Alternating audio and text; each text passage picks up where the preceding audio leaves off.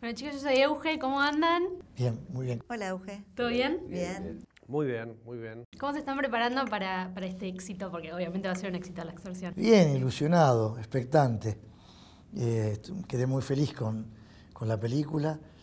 Eh, sí, intuí que, que iba a estar buena, eh, pero verla realizada y, eh, me, me- me fascinó. La verdad, un gran guion, una gran historia. La gente la, la va a pasar muy bien. Sí. Ojalá sea un éxito, nunca sabemos, nunca se sabe. Eh, el cine argentino está remontando una pandemia, está remontando y está tratando de volver a ser una industria. Así que estamos, primero estamos felices de poder estrenar la película en el cine, que para eso hacemos cine. Este, ni hablar que después, bueno, por supuesto va a ir a la plataforma y todo, pero, pero poder estrenarla en el cine es un, es un placer y es un lujo. Yo estoy muy emocionada porque volver al cine, a la pantalla, ver con todos los compañeros, la gente y todo eso, para mí no, tengo muchas, muchas expectativas. Además vienen con una, Warner viene con una tanda de pelis espectaculares Argentina, que es lo que decías vos, es para celebrar que haya cine argentino de esta calidad. Bueno, aquí estamos preparándonos eh, para el estreno, muy entusiasmados este, y contentos porque se viene escuchando como que la película eh, viene gustando. Sí, a mí me gustó mucho. Bueno, buenísimo. Y, y nada, y ojalá que también le, le pase lo mismo a la gente. Es importante que vayan al cine. Por supuesto, después cada uno también lo podrá ver en su casa, pero que creo que el cine es el lugar ideal. ¿Cómo fue cuando les llegó el libro? ¿Cómo llegó el proyecto a ustedes? Martino, eh, que somos amigos en, en la vida, hemos trabajado juntos hace muchos años en El hombre de tu vida, la serie de Campanella.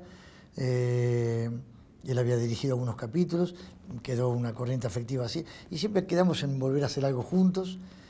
Y me presentó este largo con un guion que me atravesó, me fascinó, de Manuel Díez, un- un- una gran historia. Y así fue que me llegó, eh, donde después pasaron muchas cosas, vino la pandemia, se corrigieron cosas del libro, pero el modo que me llega fue ese, entregado por, por Martino, que tenía una historia para contarme, primero me la contó verbalmente, luego me dio el guion y, y quedé fascinado. Esta película la empezamos a, a desarrollar en 100 bares, eh, la productora de la que soy parte. En ese momento trabajamos con Emanuel Díez, que es el guionista de la película.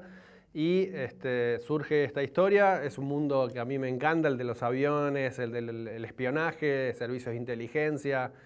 Este, y, y- y bueno, eh, a partir de ese momento se empezó a desarrollar el guion, tuvo muchas versiones y filmamos la versión número 11. Este, fue cambiando mucho a lo largo del, proceso, con diferentes finales incluso que surgían, algunos gustaban más, otros menos, y hasta que encontramos el punto justo, hasta llegar este, a Guillermo Franchella, el protagonista de la película, que eh, siempre me había dicho yo, si tenés un guion en algún momento lo quiero ver porque si me gusta te voy a acompañar. Y así sucedió, el súper profesional Guillermo lo leyó un lunes, el miércoles eh, me dijo, vamos, la hacemos. Y, y así, una vez que uno cuenta con, con este guion, con Guillermo, eh, con Cien Bares, con Infinity Hill, eh, Warner, Particular Crowd, todas las, Sí, todo- los, todo los que el intervinieron, en- claro, intervinieron en todo este, en, en este proceso. Eh, la verdad que se juntan este, todo lo que se tiene que juntar para hacer la mejor película posible.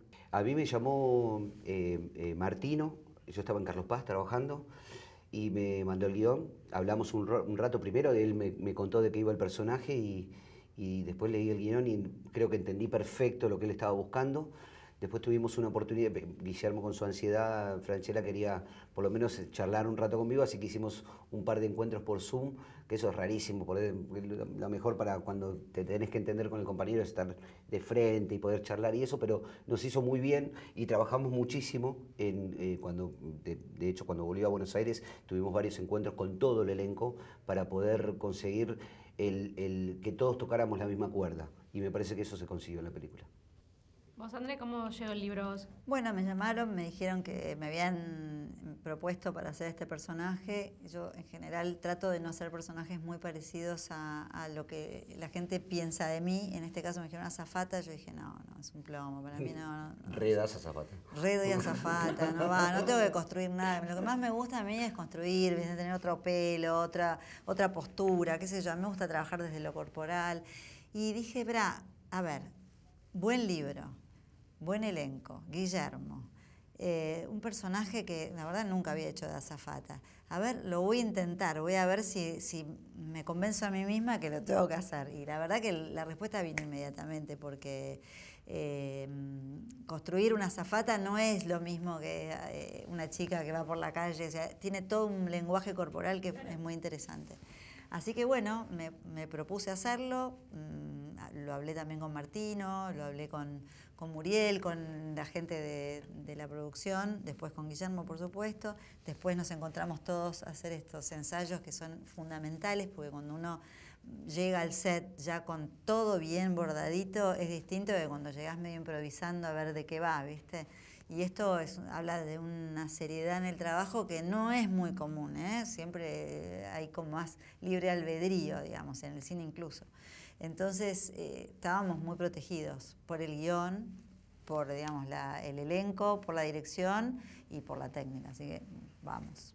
Aparte, viendo incluso la película, se nota que hay muy buena química en el equipo. No sé si ya habían trabajado antes, no, nosotros no, Hicimos una, una zona. Solo esa escena que aparecimos en la película, nada más. Con ambos, con Andrea había hecho Ponía Franchella, el ciclo de humor y después mi obra maestra, eh, la, película de Gastón Duprat.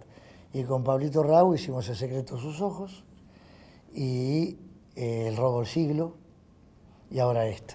¿Cómo fue volver a encontrarte con ellos en esta película? Los quiero mucho a ambos y han estado sublimes en la película. El trabajo de Pablo es hermoso, el de Andrea, cada vez mejor actriz, está, me quedé contentísimo, de verdad. Todos los encuentros que tuvimos eh, hizo que tengamos todos una, energía común, pero me parece que es fundamental la personalidad de Martino, del director. Mm. Es fundamental, tiene una, energía muy amable, eh, creo que... ¿Lo viste enojado? No, es amable. yo sí un poquito enojado lo vi. No, yo no, yo no lo vi enojado y, lo que es muy agradecido para el actor es la determinación de alguien, ¿no? Que sepa lo que quiere, que no tenga dudas. No, así no. Yo quiero un poquito más así o un poquito más allá, como que te ecualice. Y me parece que eso es muy, muy agradecido para el actor porque te sentís muy seguro. Claro, porque aparte es medio como el capitán del barco. Claro. Es el capitán del barco. Bueno, y de hecho él, él, es, eh, él, él es editor también, con lo cual eh, se notaba que tenía en la cabeza lo que necesitaba para la película. No, por lo menos a mí no me pasó que filmara algo que yo dijera esto no va a estar, para que lo estamos filmando. Eh, realmente fue, fue muy cómodo trabajar con él, es un amor de persona y, y, después ver el trabajo ya terminado, que la decisión final es la del director, me parece que hizo un muy buen trabajo por la película. Suelo eh, planificar cada escena y cada eh, cada, con una lista de tomas que uno hace, ensayar mucho con los actores. Este, yo vengo del, lado de la edición, del montaje, entonces a la hora de filmar eh, eh, me vienen como las escenas o las ideas muy claras respecto de qué, cómo lo quiero editar. Claro, es como una idea muy visual de lo que querés que vaya a pasar. Claro, qué planos necesito para contar esta situación. Este, entonces, desde ese lugar eh, con la experiencia del tiempo y de, los trabajos realizados, este, es más fácil también para el actor porque, nada, porque se siente también más seguro el actor, eh, porque sabe que está siendo llevado por un, camino que, lo ve, que lo empieza a visualizar y creo que eso es lo, lo, interesante de lo que sucedió. Siempre fue un clima distendido, siempre fue un clima nada, nada complicado, era un rodaje complicado, muchas locaciones mucha logística, eh, madrugadas, eh, viajes, después se hizo en Madrid, una semana se filmó en Madrid, calles, otro equipo. Eh, no, no fue un rodaje de los sencillos, pero siempre estuvo a la altura todo el trabajo, toda la producción, fue, fue muy, muy interesante. Además es una mega producción que está muy buena para ver en cine con todo el tema de los aviones. Obvio. Es una peli que la disfrutas mucho más. la vamos a ver después también en plataformas, pero es una peli para sí. Pero claro, claro. La verdad, toda peli tiene que ir a los cines. Yo entiendo este universo nuevo de los streaming, de las plataformas, pero yo, yo celebro que hayan concedido una ventana de seis semanas para que estrenemos en las salas. Porque es otra cosa, el cine tiene ver una película en el cine no, no hay con qué darle. Y este tipo de películas más aún. Yo creo que es la oportunidad para eh, otra de las oportunidades para que la gente vuelva, vuelva al cine. Es un momento en el cual el cine necesita de la gente y creo que esta película este, le, puede dar a, la gente lo que la gente va a buscar a, un cine, que es divertirse, pasarla bien, ver una buena historia, eh, bien actuada. Este, creo, según dicen eh, los que la ven, que todo esto que, comento está, está en esta película. Hay que ir al cine, esta película está pensada para el cine, más allá que después va a ir a la plataforma. Eh, el cine es un ritual eh, que, no, que no, no, lo tenemos que perder. Hay que seguir este, eh, yo tengo un hijo de 20 años y me cuesta mucho que vaya al cine, pero quiero, que me lo propongo, cada vez que haya alguna película que nos interesa, vamos juntos, así que nada, hay que recuperar, hay que recuperar ese espacio y ese ritual para nosotros como espectadores. Es una película de aviones, no se puede ver en otro lugar que no sea en el cine. Totalmente, ¿Eh? totalmente. No, y aparte se nota que es un equipo que trabajó muy bien el uno con el otro y desarrollando una historia que no la vemos todos los días, este tipo de, lo que vos decías de espionaje en aviones, está muy bueno y, pienso que la gente va a ir a verla y que va a ser un, gran éxito. Mi objetivo principal es que la gente vaya al cine a divertirse, eh, a pasarla bien, a vivir un momento de tensión, eh, que se pueda divertir. Eh, es como una especie de montaña rusa de diferentes cosas que le van pasando a este tipo común, que es Alejandro, el personaje que interpreta Guillermo Franchella. Eh, que se mete en un mundo que no es el suyo y que va a tener que ingeniárselas bastante para poder salir de ese lugar al que se mete eh, casi por accidente, por, minimizar a un par de cuestiones.